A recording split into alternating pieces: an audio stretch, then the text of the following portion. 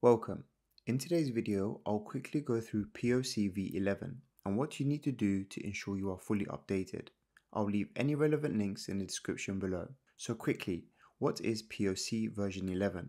In simple terms, it is an upgrade to the proof of coverage of the Helium network. It will mainly help to tackle two issues. Number one, spoofing. You might have heard previously that users were hacking the network by purchasing many miners and then placing them in one location, but on the Helium Explorer, they were allocating them to different hexes. The reason they did this was to place the miner location in profitable spaces without having to physically set up a miner in that hex. This resulted in some miners earning insane amount of rewards. The update will assist to verify that hotspots are where they claim and penalize any hotspots that provide inaccurate locations. Number two, transmission regulations. Each country is regulated to transmit a certain power output from your antenna. If you are based in the EU or UK, the legal requirement is a power output of 14 dBm. For the US, it is 36 dBm. To calculate the final power output from your antenna, there are many factors to consider, such as interference, cable loss, and placement.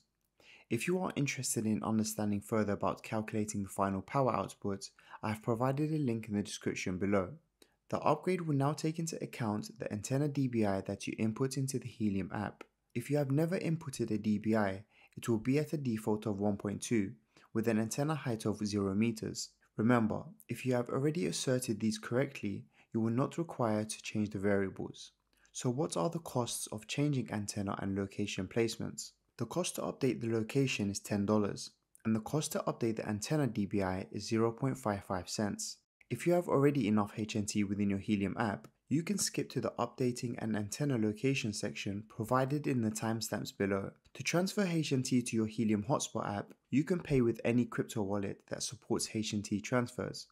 I'll be using crypto.com. If you do not have any HNT, you can purchase some using USDC or USDT. Once you have HNT in your wallet, select Accounts. Then select Crypto Wallet and Helium. On the top right, click on Transfer, Withdraw, and then External Wallet. To add your wallet address, you're required to go back into your Helium Hotspot app. Opening up the app, click on the two arrows and select Copy Address. Back into the Crypto.com app, add a wallet address and paste it into the Helium address field. Under wallet name, you can type anything you require and select continue. Type in the password and your two-step verification. Enter the amount you require to send. I am transferring over $20 to be on the safe side as the app takes a small transaction fee of 0.2 HNT. Then select confirm and re-enter your password and two-step verification. You will receive a confirmation screen that the transfer is successful. This does take approximately 15 minutes to go through. Once it has been processed, you should see the amount within your Helium Hotspot wallet. To update the antenna and location, on the home page, click on your miner. Select the settings icon and then click on Update Hotspot. For the antenna, select the type of antenna that was provided with your hotspot. If you have upgraded the antenna, you can select Custom Antenna and then type the dBi in manually. If you have calculated how much dBi is lost with consideration to cable loss, interference, and so forth, you can input that number within the TX and RX field. Then specify the height of your antenna from the ground. Select Update Antenna and then Submit.